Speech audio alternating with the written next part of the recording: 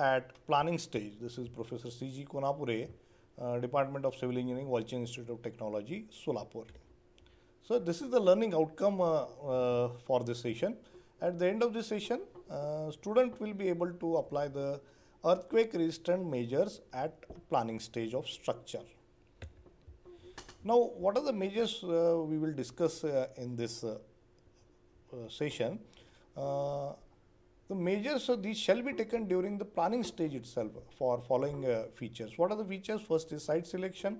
Second is the plan of the building and uh, plan of the building. Why it is important? The behavior of the building, which is governed by plan, that is discussed in this uh, second feature. Third is shape of the building or structure in vertical direction of building.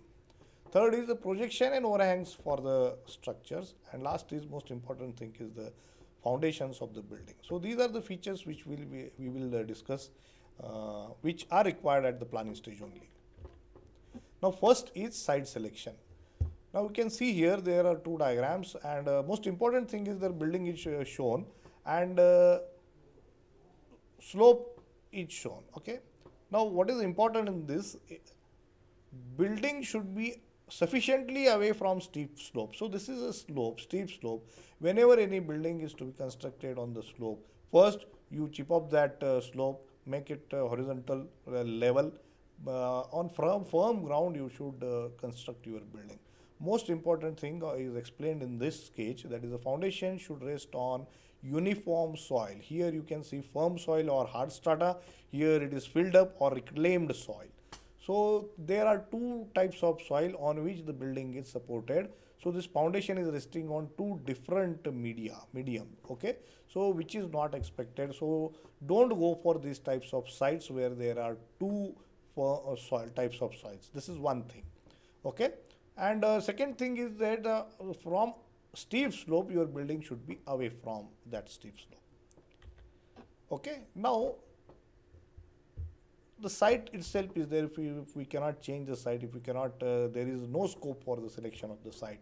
And uh, uh, firm soil is also there and filled up or reclaimed soil is also there. Then in what in that case what measure we should take for that? The measure is explained in this third diagram. Already there are two diagrams which were explained in earlier slide. Now what is to be done? On firm soil there our foundation is provided for this uh, uh, building uh, for remaining soil, uh, this reclaimed soil, the piles are taken or raft and pile type foundation, the combination is taken and those piles are anchored or end buried on this firm soil. So this, this remedial measure is required for this type of soil site. Okay.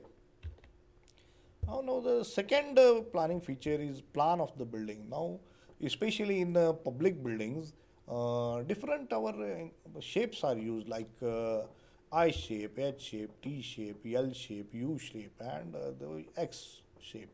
These shapes are used for the public building, buildings in generally, in which the length and width of the extent of the building is very high. Uh, so, but what is the problem in that? The, uh, these buildings are asymmetric and this asymmetry should be avoided in the earthquake. Why? That asymmetric building undergo torsion. Extreme corners are subjected to very large earthquake forces.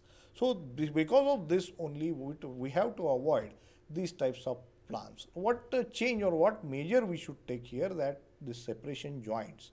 For this type of plan, T plan, you can separate these two parts, means this web and flange that we can say in case of uh, T uh, plan. So you separate it, the separation joint should be provided and we uh, separate these segments from each other. Why is it so? That is explained in this slide. Now this uh, explains you the behavior of asymmetric building during earthquake.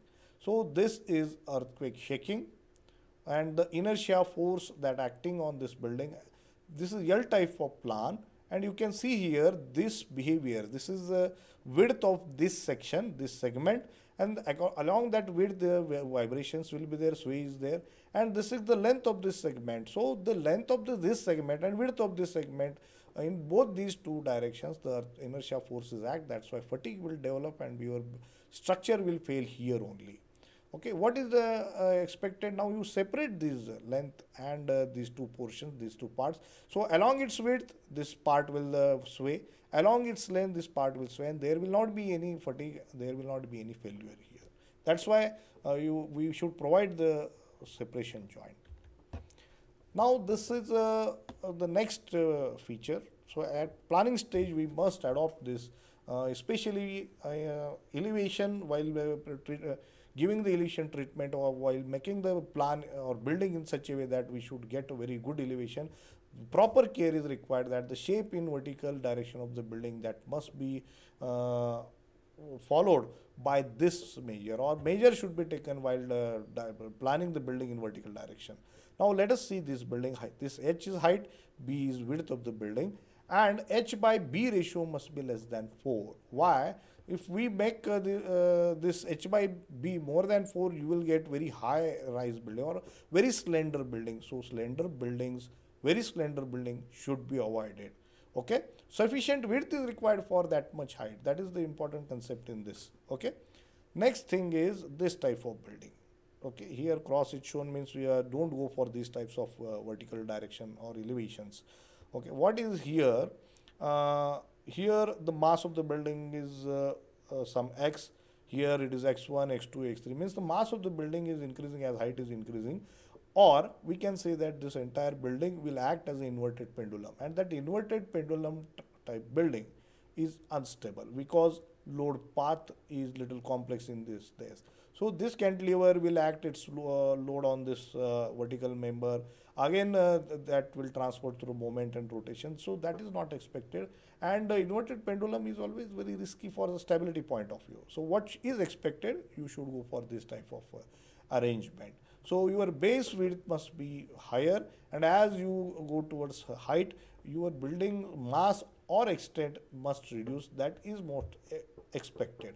So most important point all in, the, in all these three is sudden change in the lateral stiffness should be avoided. Most important. So sudden change is there. This is the change in the stiffness. Here stiffness. Here is also stiffness.